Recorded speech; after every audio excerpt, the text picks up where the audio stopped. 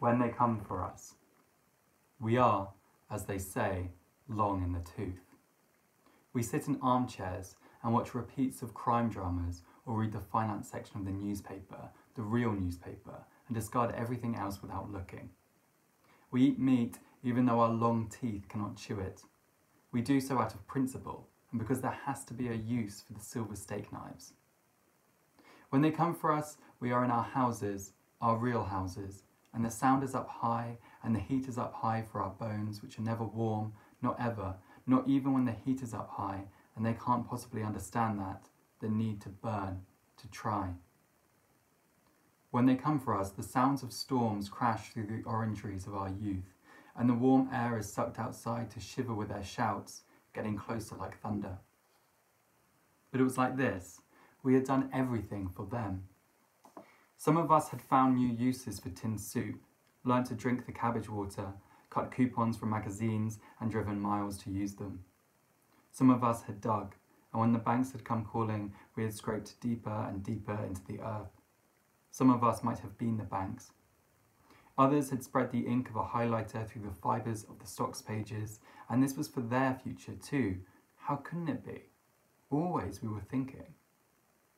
We had our real houses, and we multiplied them because we could, because we were told that we should, and then we divided them again until we had so much more than our childhoods promised, and they had somewhere too.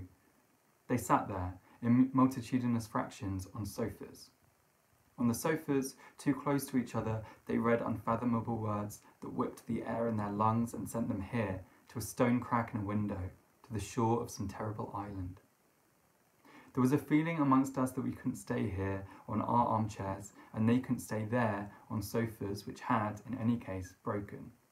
There was a feeling, or else it was a noise, which caused us to close ranks, to jam wax into our ears and push the sound up high. They had told us that it was not enough, and neither were we. And when the first brick lands like a dead bird, we realise, or at least some of us do, that they are, in a way, right, or at least they have a right for the noise to be heard. They are slicing open the bellies of our real houses now. We can see them, and it is difficult not to recognise something of our own noses, our foreheads, our chins, illuminated in the blue light of the television. A girl, all lines and angles, whirls around in the expanses of our living rooms and smashes ornaments with a sharpened tent peg. We do not stop her. A happy girl, we say, excitable. A boy, our own steak knife against our throats, speaks a story that is strange to us. He tells of empty houses, trees growing through cracks in the windows, lights left on and smudging the night, bedbugs crawling from the pages of books and mould creeping up walls, people in the underpass, tents blazing and pissed on while behind glass the Swiss cheese plant lives, its ribs nuzzled by the alternately chilled and warmed air of an AC unit. On the television, a balding man is placing a hairdryer in the bathtub. We offer wine from Chile, chocolate from Colombia. We offer to fry a chop the, for them each, flown from New Zealand. Another child, emerging from darkness with a pebble in, in hand, tells us to stop. Our time for talking is done. There will be, the smallest one says, a reclaiming, a, re- a rewilding. They start levering up carpets as if they are trying to get at the earth. The girl tells us that soon there will be no worms working the soil down with their little mouths, no moles eating the worms and churning the soil, nothing growing. She says our greenhouses are a joke. If we had caged birds, we don't anymore. They are tiny sparks in the night, fragments of flowers. Our dogs are barking, or else whimpering, or else their bellies are bare to the children who rub them and smile. While we are not scared, there are many of us, and we have sailed and flew and fought, some of us. The question trembles in our minds of whether they will feed our own livers to the dogs once they have finished.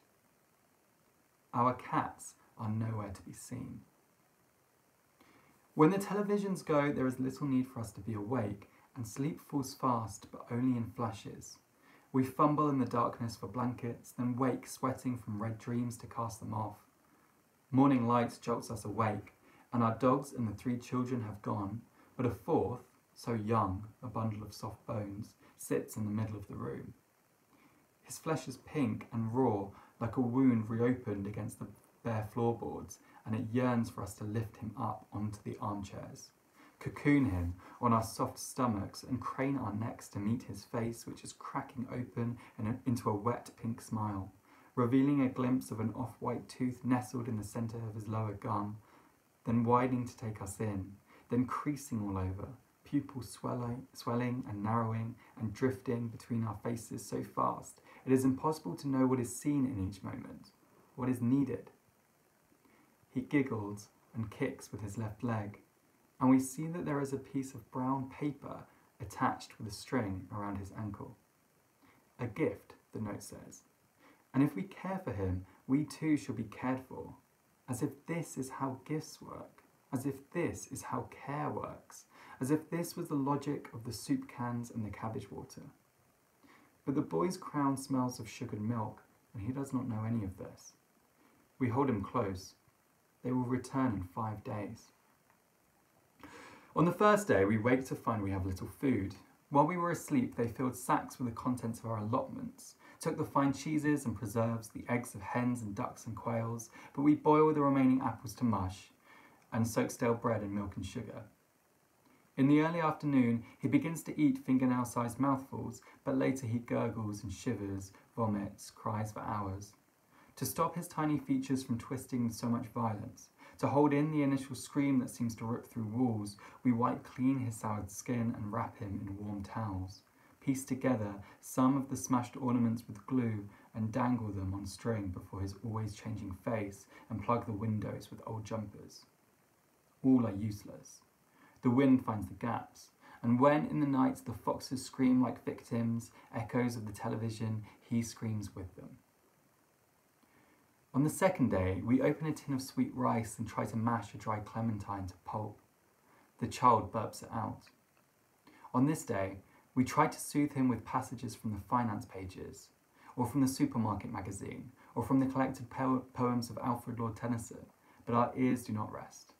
With the television gone, there is little to do except hold the child and look to each other. But we find that we are dwindling.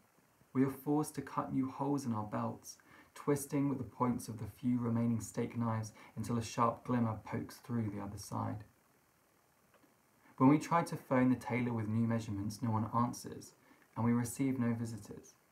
At night, the sounds of beasts magnify, we swear we can hear howls and grunts of things long since hunted to nothing, while it seems that the other lights in our cul-de-sacs are flickering out, the hum of human life muting.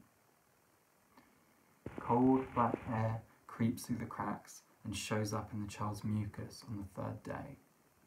His breath falters. It is not clear that he wants to live. It might be a kindness to squeeze him until the air stops, but we fear the return of the children's ragged eyes. This time, when we try to bathe his body and ours, the taps make a deep gargle and can't summon anything to spit into the tubs, so we wet flannels with rain and soap and rub the greyish milk over the child who spits, arches his back, and covers his face with two clenched fists. He has not laughed since we first took him from the floor, and we wonder if this is where the years of resentment start building in the bones of a baby, unable to identify intentions behind actions. We gasp from the effort of lifting him out of the tub. Every action feels heavy, and as we look among ourselves, we see that we are becoming fewer and fewer. On the fourth day, we are woken by a crow scattering around the insides of the houses, squawking at the child until he is choking for oxygen again. He has found a fever, scratched to a red rawness bites we hadn't seen before, and thrown up dark bile where the carpets were lifted and ripped away, where something has taken root in the gaps. It takes hours and so much strength to expel the crow that dinner feels sweet and perfect on our tongues. A return of tin soup, condensed milk, fruit cocktail in syrup from the deepest edges of the cupboards, enveloping us in dreams of our old bank accounts growing fat as a baby, the lush green vertices of golf courses, slick from sprinklers, the sleek flight of a speeding car, and then a cry so harsh it tears a hole in the asphalt, and we wake to the child blue and bawling. We can see what you have made of our gift, the boy says, placing himself on an armchair. Our protests cannot surface because their voices are so much louder than ours now, deeper, and they enter accompanied by, an, by impossible animals. A bobcat lounges at the girl's feet. A wolf stretches out in the spot where our dogs once did. A bear lumbers ridiculously through the patio doors, shattering glass. It is no longer easy to call them children. The smallest of the three holds a brick in each hand, and muscles ripple along his arms. We can see that you are no longer many, he says. Not only this, our teeth have scattered in a circle around us and been replaced by pink gum and a single milky pebble. Our ears have shrunk to two quivering question marks. Our shirt sleeves have fallen far past our hands, and the watch must have slipped, the wrists bare, soft, hairless. The sound of the child's cry rings out still, closer, as if the sound has become so familiar it has been internalized and rips out of our own body. On the coarse floorboards, a pair of crumpled trousers, a useless belt lump- looped around, flesh wriggling and screaming against the howling, the encroaching thunder, while vision softens so the children seem so many, and it is difficult to sort eyes from noses, ears, chins, snouts. Wind tears through flesh into bone, and I cannot speak now. To ask, to try, but only reach for the same wordless noise